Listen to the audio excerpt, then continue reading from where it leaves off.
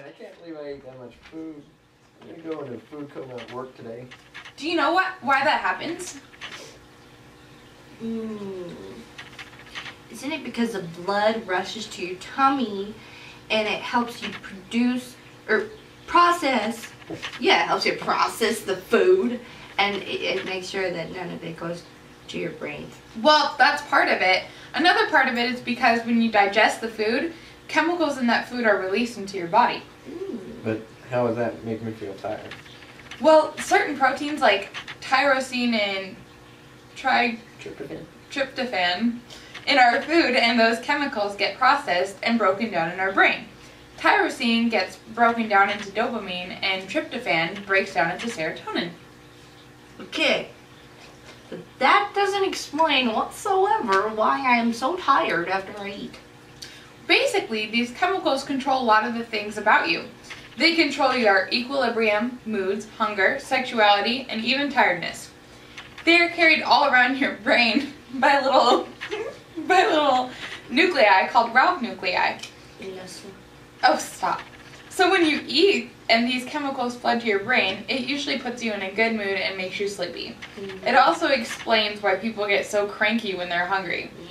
Especially you, Clayton. Hey, I resent that. Doesn't make it any less true, Clayton. hey,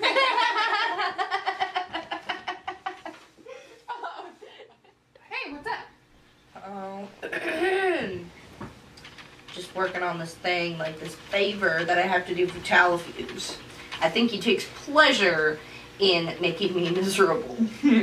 Well, that's why I got away from him. now I'm in Beal's class, and he's way nicer and has more hair. Yeah.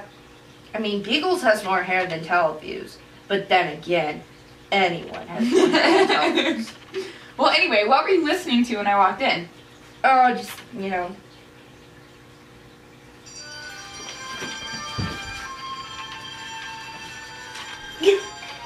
Are you okay?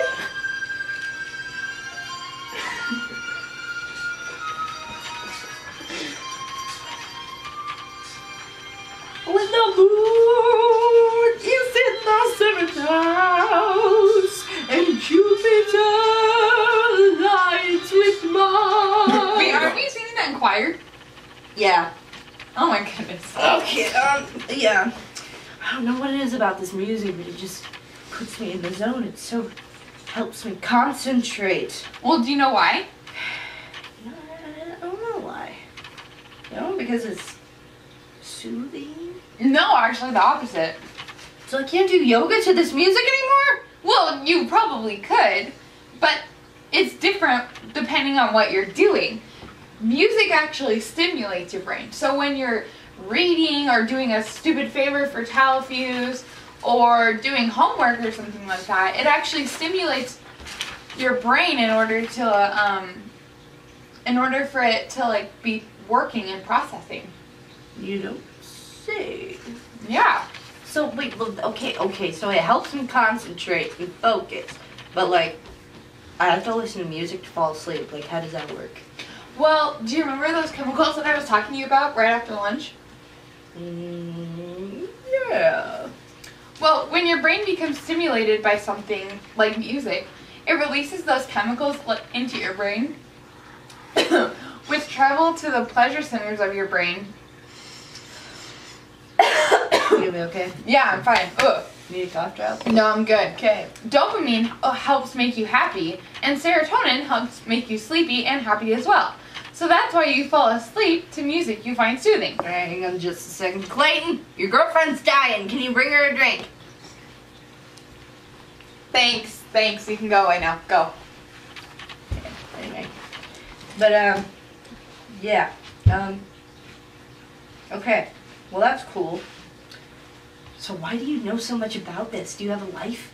Um, I think I learned it in school or something. Um, Oh. okay. Well, I can't keep track of all that stuff.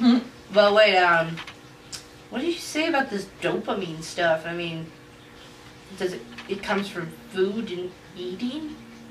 Well, yeah, it does. Oh Why? my god, I'm getting a phone call. Hold the phone. You should have your phone turned off while studying. I know.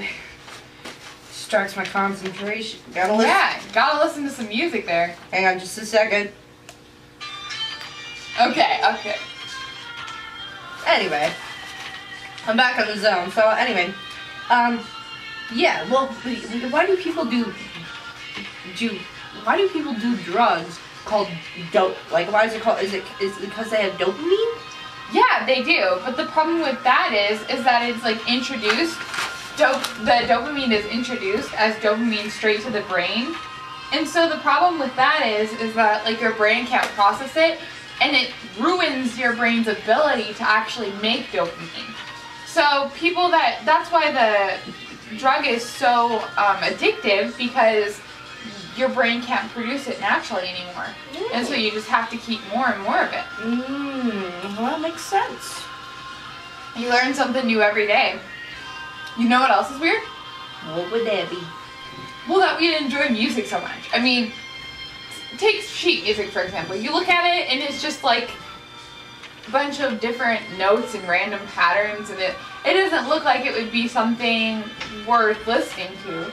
And then, but our brains have the ability to process it and mm-hmm. make it into something really nice and cool listening. You know what I mean? Yeah, you know, I never thought about it that way. It also affects your decision making skills. Under an fMRI, different people were asked to li- listen to different um, songs from different music genres. Uh, and um, and the one that stimulated the most emotional response or the most um, brain activity were the ones that people were most likely to buy or go to a concert. Um, isn't that cool? Sure. Is that why people don't have the, like, you know, the same taste in music? Like, is that why I like people that listen to good music instead of stuff like country? Sure, Meg. Gosh, you know I like country. but um yeah, well music makes people feel united, especially emotional songs that provoke a response. When someone feels the same about a piece of music that you love, you feel a bond and perhaps start a friendship.